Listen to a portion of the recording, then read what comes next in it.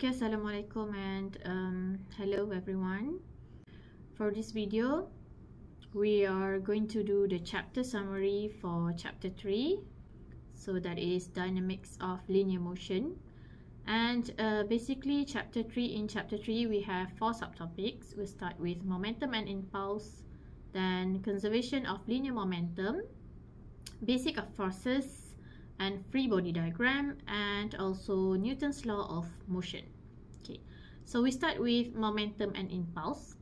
Okay, we have uh, the basic equation for momentum is mass times velocity and for this subtopic also we have the impulse that is uh, force times time and it can also be the change of momentum delta P or we can write down as mv minus u. Initial moment final momentum minus initial momentum. Okay. Then for conservation of linear momentum okay uh, we have a condition where in a closed system okay in a closed system the momentum is conserved. That means that the initial momentum total initial momentum is equal to total final momentum. Okay and for this uh, subtopic we also learn about the types of collisions that are elastic and also inelastic collision. Okay inelastic collision.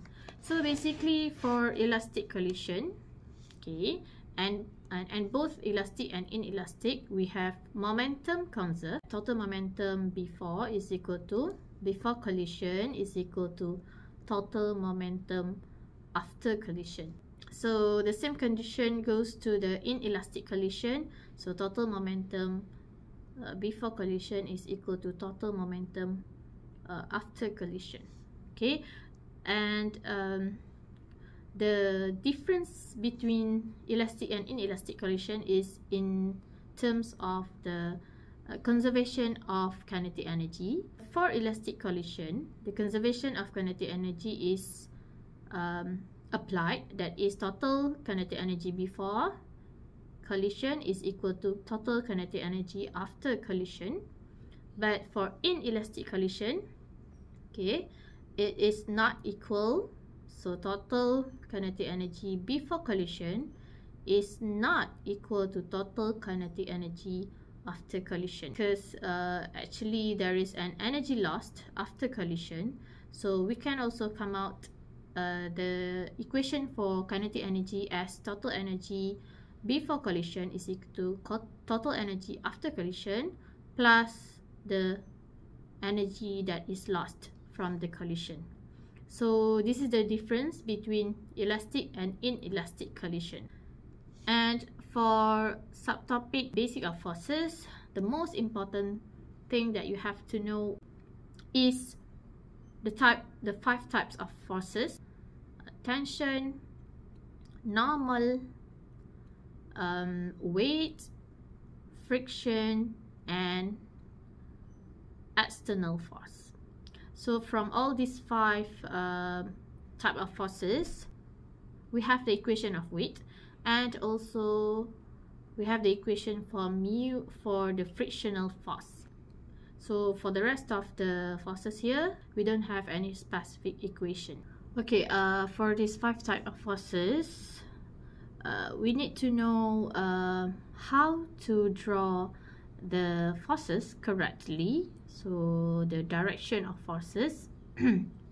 So basically for tension it is supposed to be always outward from the object and it is acted always acted on a string. So let's say we have a, uh, a case of a box being pulled to the right using a string. So our force or our tension is to the right. It is always outward from the object. Okay? And for weight then the direction is always downward and it is started from the center.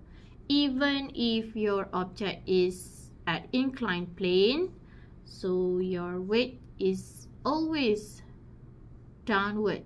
okay because it is actually the force of gravity that is pulling it uh, towards the center of the earth and for uh, normal okay for normal force it has to be uh, always perpendicular to the surface. So that let's say this is the surface.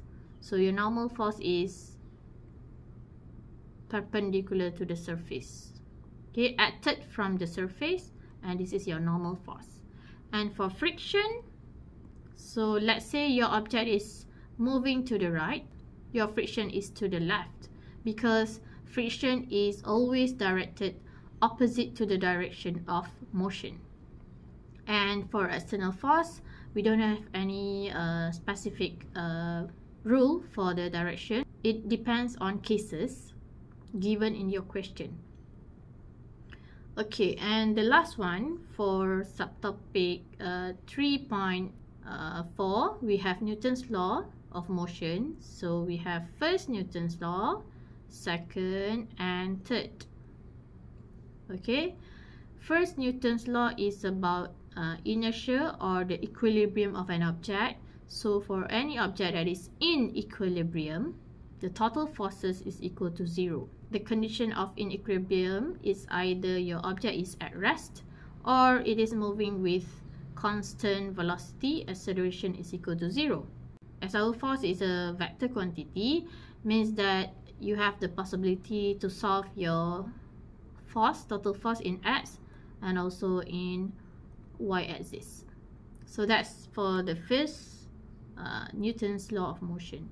For the second Newton's law of motion you have a summation of F equal to MA and again uh, your case can be uh, forces acted in x-axis and also forces acted in y-axis okay?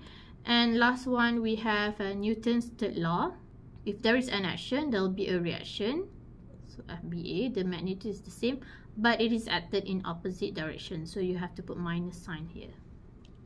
Okay thank you. That's all for the chapter summary of chapter 3 thank you